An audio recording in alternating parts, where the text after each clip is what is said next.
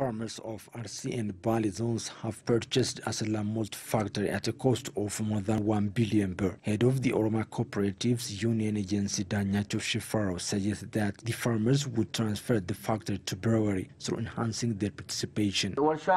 Uh, Warshaan kun qarshii biliyoona tokkoof tuqaa sadiin bitame. The factory was bought at a cost of 1.3 billion birr. Our farmers who produce barley, whose number is estimated to be more than 1.4 million, if they buy a share of 1,000 birr, it is possible to collect 1.4 billion birr. Head of the Finance, Procurement and Purchasing as well as Resource Management Department with Oromia Agricultural Cooperatives Federation, Daniel China said his federation has been constructing a food factory at a cost of of more than 50 million birr. He said the food factory has the capacity to produce 1,000 quintals of balanced diet a day upon its completion.